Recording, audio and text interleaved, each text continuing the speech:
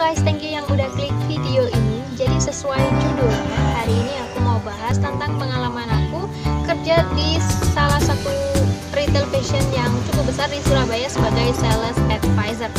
Nah, mungkin kalau kalian ingin kerja sebagai sales advisor, kalian sudah sangat benar sekali nonton video ini karena aku bakal bagi pengalaman aku mulai dari cara melamar sampai tugas-tugas seorang sales advisor di retail fashion.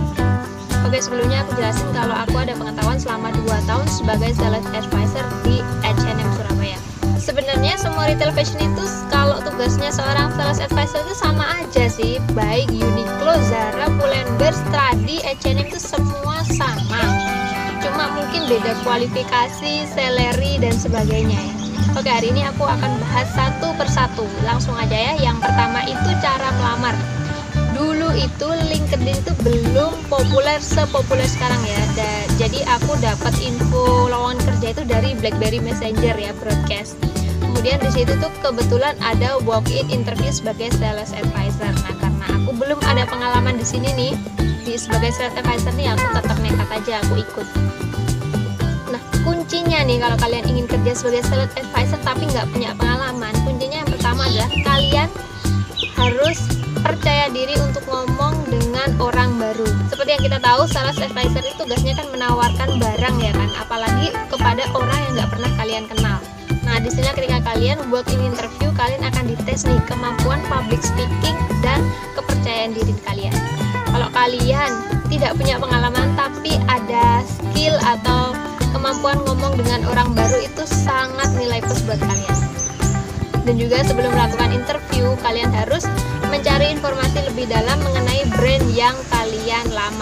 Misal kalian lamar di H&M, kalian harus cari tahu nih informasi apa aja yang berkaitan dengan H&M. Misalnya ini H&M singkatan dari apa, e, brand ini berasal dari mana dan ada di kota mana aja nih setahu kalian. Nah seperti itu sih. Jangan lupa like, main, dan subscribe. Kemudian kita akan bahas tentang kontrak, salary, dan jam kerja. Pertama adalah kontrak dulu ya. Kontrak untuk di H&M sendiri biasanya 2 tahun. Kemudian ada beberapa perusahaan retail seperti Uniqlo. Kalau Uniqlo sih biasanya ada training 3 bulan dulu ya. Kalau bagus dilanjut, kalau kurang cocok tidak bisa dilanjut. Kemudian kalau Zara sih kayaknya eh, setahun juga sama kayak H&M.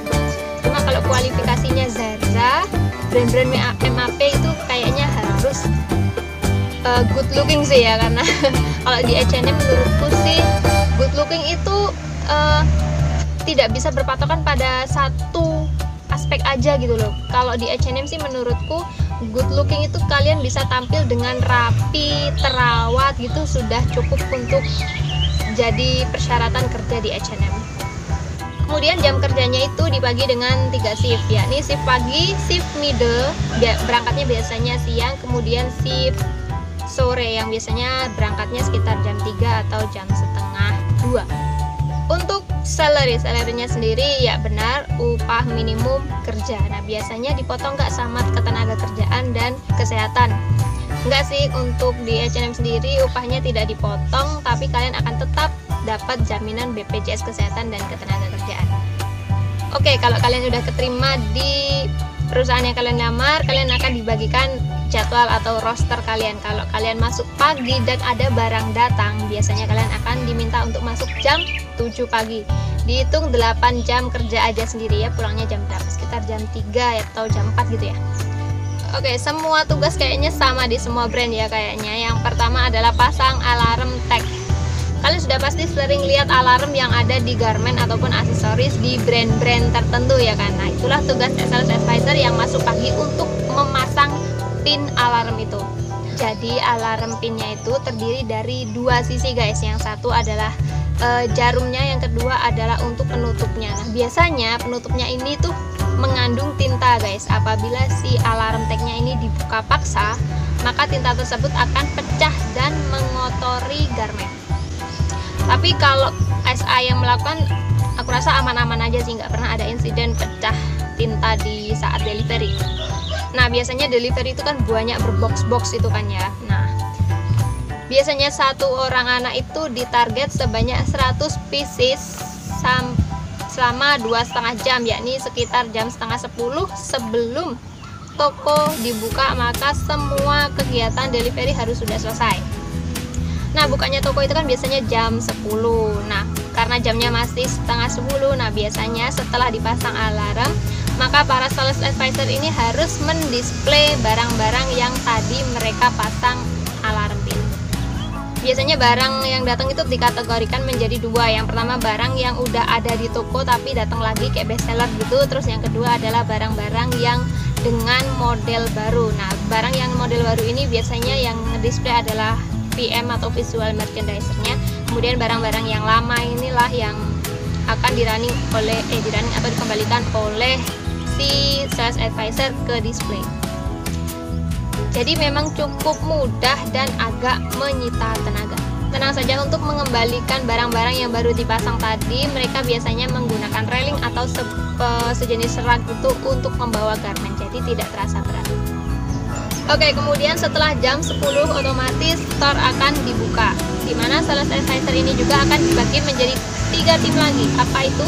Yang pertama adalah jaga di kasir yang kedua adalah jaga di sekitaran garment atau disebut floor yang ketiga yang nggak skala penting adalah di fitting room kalau di kasir tentu saja tanggung jawabnya berkaitan dengan uang kemudian yang di floor tentu saja harus kontak dengan customer secara langsung dan di fitting juga tanggung jawabnya adalah tentang barang-barang yang biasanya nggak boleh dibawa ke fitting. Dan biasanya customernya itu ya ampun macem-macem banget. Jadi kalau kalian bekerja di retail kalian harus siap mental dan fisik banget karena berbagai customer dari yang sangat baik sampai sangat uh, arogan itu bakal kalian temuin.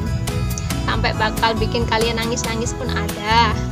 Ini kalau sudah nih ya biasanya kan pulangnya jam 3 nah karena ada barang yang delivery tadi belum kelar maka anak yang datangnya middle biasanya jam 11 atau setengah 12 itu datang untuk menyelesaikan uh, pasang alarm tag. Nah, sebelum anak-anak pagi ini pulang, maka akan datang anak-anak siang untuk menggantikan shift pagi. Pekerjaan antara shift pagi dan siang itu sebenarnya sama aja, yang bedain cuma ketika closing. Nah, ketika closing atau anak-anak siang ini biasanya sebelum pulang harus merapikan toko serapi mungkin Hal ini akan sangat berbeda ketika adanya kegiatan sale. Nah, kalau kalian pernah belanja waktu sale itu meja, display itu pasti berantakan banget kan. Sedangkan besok paginya itu kalian datang udah sangat rapi sekali, baik foldingan alias uh, lipatan baju di meja itu udah rapi banget. Itulah tugas shift siang untuk merapikan sebelum mereka pulang biasanya kalau standar nggak lagi sale itu pulangnya bisa jam 11 atau jam setengah 12 malam. Kelihatan berat sih tapi lama-lama kalau banyak temennya itu jadi menyenangkan kok. Nah akan jadi sangat berbeda ketika ada kegiatan sale karena banyak sekali barang berantakan ya kan? Dan jadi harus saling membantu antara tim satu dan tim dua agar cepat selesai dan cepat pulang aku rasa itu aja sih untuk informasi sharing pengalamanku ini semoga pengalamanku ini membawa manfaat buat kalian semua semoga membantu juga dan please kalian juga bantu aku dengan cara tekan like, comment, dan subscribe. Dan sampai jumpa di videoku selanjutnya.